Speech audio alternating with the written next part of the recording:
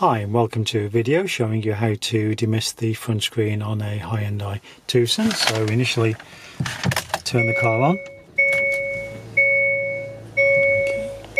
okay. and then as you can see you've got the button there saying front so you press that and that will put all the air and everything up to the front screen to uh, demist it as quickly as possible and then as soon as the, uh, the screen is demisted press that button again and it will take you back to uh, previous setting. Adjacent to that you've got your heated rear screen and heated door mirror as well.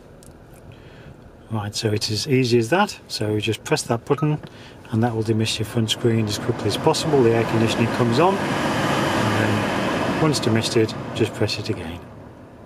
Thank you.